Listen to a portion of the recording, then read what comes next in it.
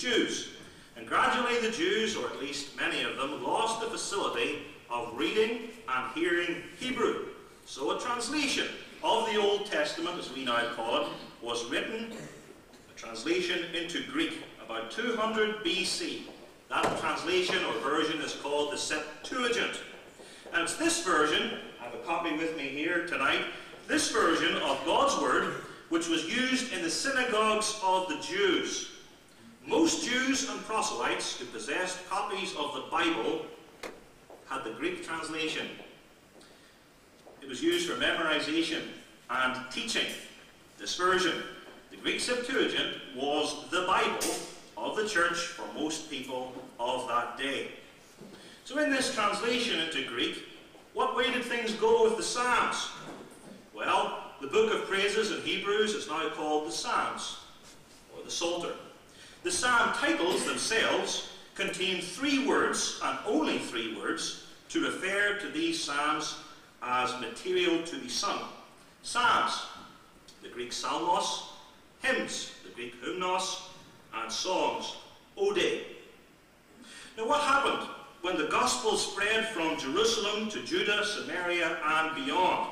The apostles, as we read in the book of Acts especially, went first to the synagogue. And there God called his elect people from their midst who were Jews and proselytes who became the nucleus of the New Testament church. Others joined them too, and their Bible was the Septuagint. And nobody, as far as I'm aware, debates this. Now let's come to the key texts in this debate, Ephesians 5 verse 19 and Colossians 3 verse 16. At least I would guess at this stage they will be key texts. Speaking to yourselves in psalms, hymns, and spiritual songs, singing and making melody in your heart to the Lord. Let the word of Christ dwell in you richly in all wisdom, teaching and admonishing one another in psalms and hymns and spiritual songs, singing with grace in your heart to the Lord. The question is, what is meant by psalms, hymns, and songs?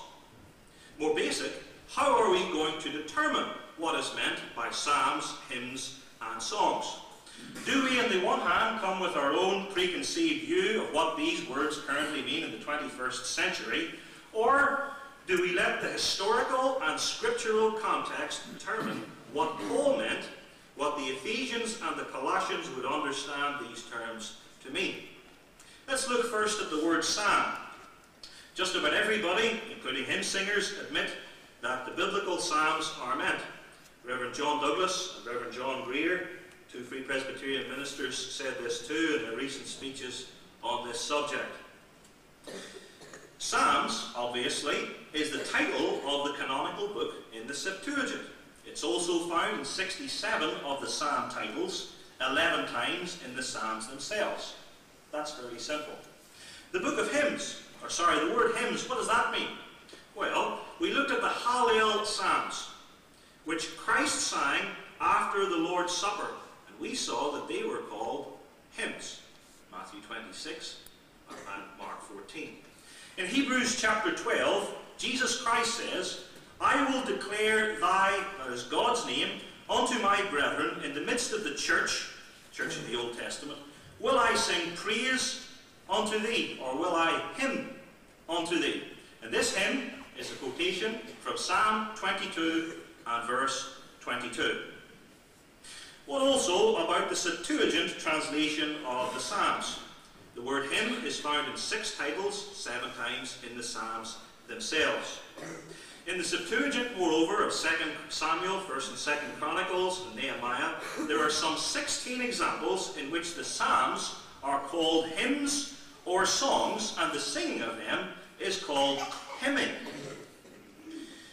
A Jew called Philo, this is a secondary example, but it does show the way the word was used at that time. A Jew named Philo in Egypt, who died AD 40, round about this time, frequently refers to and designates certain psalms as hymns. That's his dominant word. You and I would call them psalms. He, in his world in that day, he mostly called them hymns. The same thing with Josephus. He repeatedly calls the psalms hymns a Jew in the last two-thirds of the first century AD. Then we move on to songs. The word song is found in 36 of the psalm titles of the Septuagint and nine times in the psalms themselves. With the word songs, we have the adjective spiritual. Spiritual means, in the Bible, of the Holy Spirit. Spiritual in the Bible means a lot more than religious. Here are songs of the Holy Spirit. And the Psalms are most definitely songs of the Holy Spirit. They are inspired, indited, breathed forth by the Holy Spirit as His Word. Hebrews 3 verse 7. As the Holy Ghost, or as the Holy Spirit, saith, Today if you will hear His voice, harden not your hearts. A quotation from Psalm 95. B.B. Warfield, in this classic quote, explains the word spiritual in the Bible. Of the 25 instances in which the word spiritual or of the Holy Spirit occurs in the New Testament, in no single case does it sink even as low in its reference as the human spirit. And 24 of them is derived from pneuma, the Holy Spirit.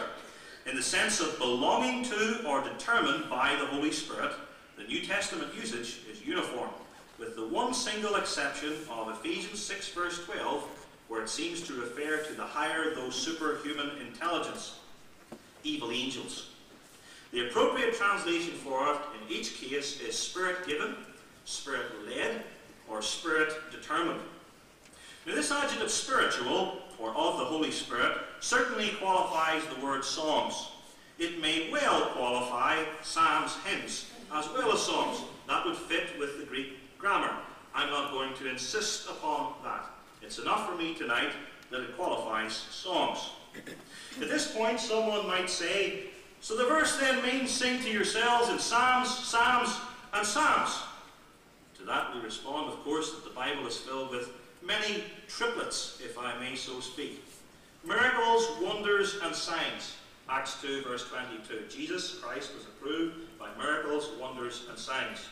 God forgives, according to Exodus 34, verse 7, iniquity and transgression and sin.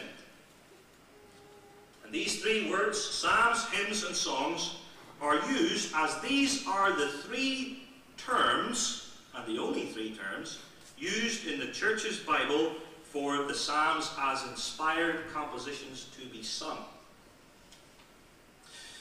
Now, there are various contributions too in the Septuagint Psalter titles. Twelve times are we told that one of the odes is a psalm and song. Two of the phrases used here. Twice it's called a psalm and a hymn. In Psalm 75, called Psalm 76 in the Septuagint, it's called a psalm and a hymn and a song. Three words used in Ephesians and Colossians. And this combination of singing and making melody in psalms, hymns, and spiritual songs, singing and making melody in Ephesians 5 is found in other places in different forms in the Septuagint Psalter. Now, with these inspired odes, the Christian is well equipped to fulfill the calling of the text to teach and admonish one another. That's what we do in singing according to the Bible. That's part of it, at least. Teaching and admonishing. One of the words used in the psalm titles is maskil, which most reckon to mean something like this teach or instruct. And the content of themselves, the 150 psalms, gives us a lot of teaching. Admonishing. The Psalms, the more you sing them, you'll realize the more you are admonished by God's holy word. Trust in the Lord and do good. Psalm 37, verse 3. Delight thyself in the Lord. Commit thy way unto the Lord. Trust also in him. Rest in the Lord. Wait patiently for him. Fret not thyself. Cease from anger and forsake wrath. Various verses from the 37th Psalm. Here we are teaching and admonishing with infallible psalms. Do you wish to teach and admonish in your church with fallible hymns, which are of themselves can err and have erred? Colossians 3 also talks about the word of Christ. The Psalms are unmistakably